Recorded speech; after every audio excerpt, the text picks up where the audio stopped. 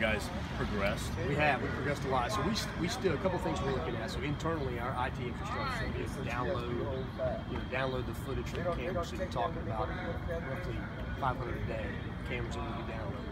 So we're working on the IT infrastructure, what that's going to look like, what what costs we have associated there, and then we're still on track for the pilot in the spring. So we'll have again four to six vendors, 20 to 50 cameras per vendor.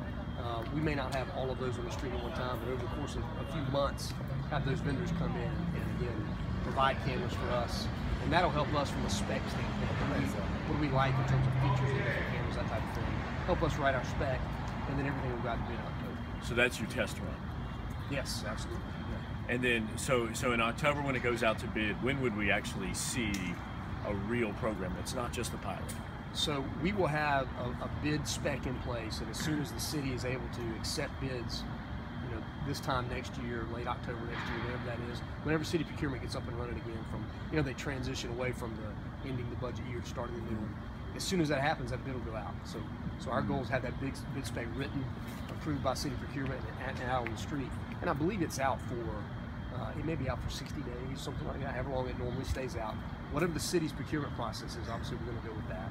Uh, and then and then we'll get the specs in, and, and we'll have a at that point then we'll have a vendor, and, and they'll know how many cameras we're going to order, and then however long it takes them to deliver is however long it'll take the camera program to be started. So probably in less than a year, we'll see the officers fitted with the the actual program.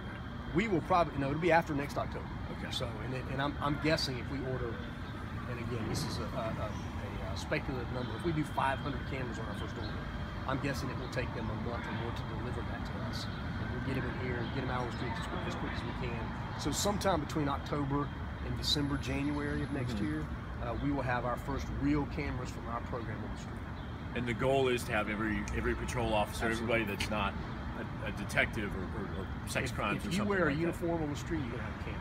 Tell me that again. Sorry, I cut you off. So if you wear a uniform on the street, you're gonna have a camera on. So you may be a detective, and, and right now we're still working through some of this policy. But if you work on the street at any point in time in your uniform, that uniform, part of that uniform is going to be the. And when are you going to instruct the officers to recruit? Well, that'll be part of the policy discussion that we have that we haven't gotten to yet. So we are looking at you know, policies from all around the country and, and digging that in. We, we, do have to give some discretion there because you, have got some agencies around the country that have had some issues with union contracts and those type of things where you can never turn the camera off. And that really doesn't make sense for the restroom and things like that. So you've got to have the ability to, to, to, build some things in there that officers can turn the camera off for. There's a great video out of Bradford County where there's a missing child and there's a, a detective walks up to a couple of residents and a woman comes out of a trailer and she says, if you turn that off, I'll tell you what I know.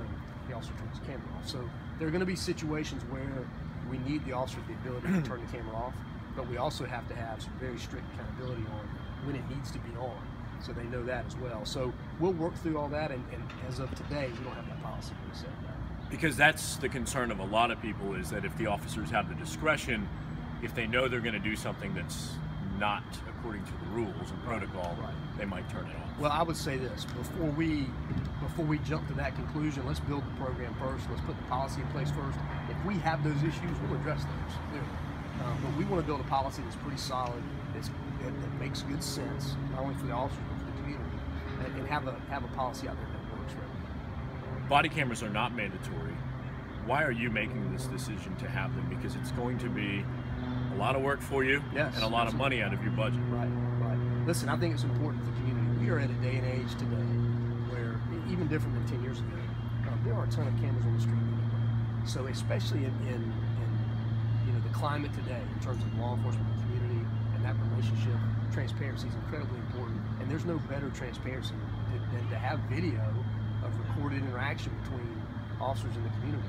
Uh, you know, th- there was a time where you may not have needed that, but unfortunately, in today's uh, you know today's climate, we do need that. I think it's important for our community, and I think it's a, listen, it's an issue nationwide. Is not just for Jacksonville.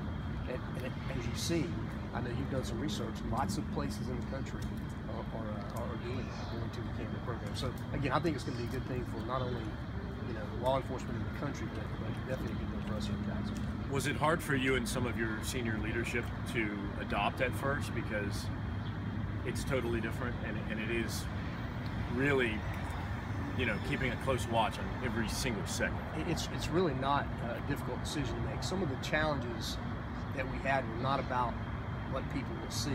It was the privacy issues. It was it's the cost issue. Obviously, that we talked about a lot. Those are really the hurdles. The, the hurdle was never, you know, we don't want the public to see this interaction. Uh, just the contrary, we do want the public to see the interaction. They need to see what the officers are, are, are dealing with and working with every day. Investigatively, it's going to help us uh, in a lot of different areas. So, again, I think it's a good thing for our community.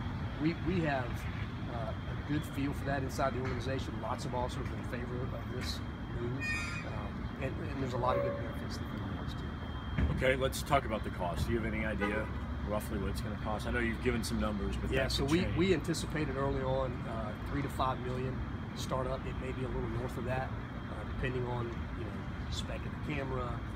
Uh, now including the IT infrastructure pieces that we've got to fix.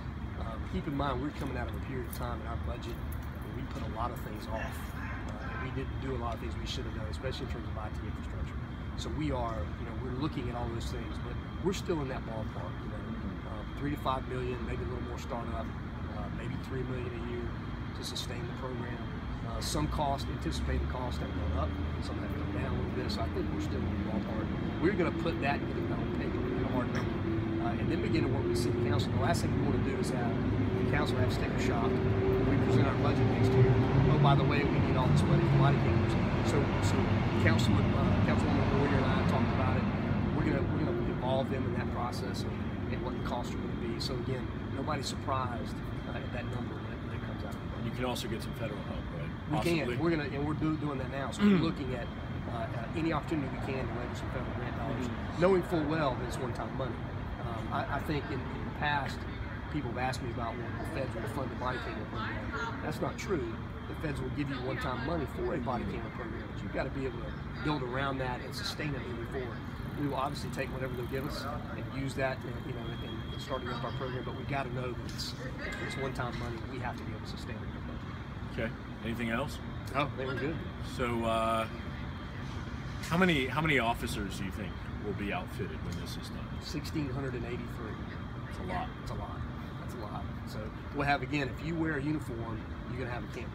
So we obviously will start with our, our uniform personnel on the street first, but we will eventually work up to, you know, as you're issued a uniform and a gun belt and some handcuffs and all the other things, part of that issue is also going to be body camera. Okay. And then as far as hiring new employees, you, you're going to have to make a new bureau for body cameras, or Yeah, well, we'll have to have a body camera unit. Unit. I think a- a- as you look Yeah. around the country uh, to deal with the public records request, to deal with you know so many things that, that again are created by you know the, the uh, having that video.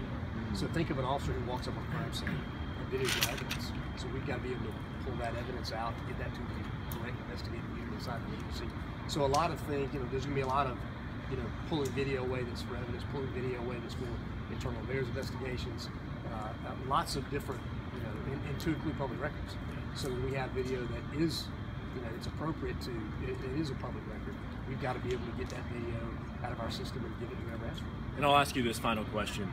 Are there any cases that you're investigating right now within the department that you wish you had body cameras? you know, I can tell you there, there's, it would make it easier if you had video and everything, and obviously we don't. Um, but uh, it, moving forward, I think that is going to help a lot of cases that we deal with. That, that you know, we'd like to see that on video, um, and, and sure, it's going to help moving forward. And there's absolutely cases that you'd love to have video on today, but, but we just don't have it. So um, I think um, as we move forward, I think people will get more and more used to the fact that you know we do have capability to, you know, to record those interactions. And again, good good for us as an agency and good for our. Right. We can get a couple cutaways real quick. Um, yeah, and, and the, the interesting thing, thing about Miami that they brought up that I didn't think about was they, they say that they believe they're going to save money in the long run because of the lawsuits Correct. that they don't have to fight. And that's because when they too. show the video, they just say, Yeah. "Here It's it is."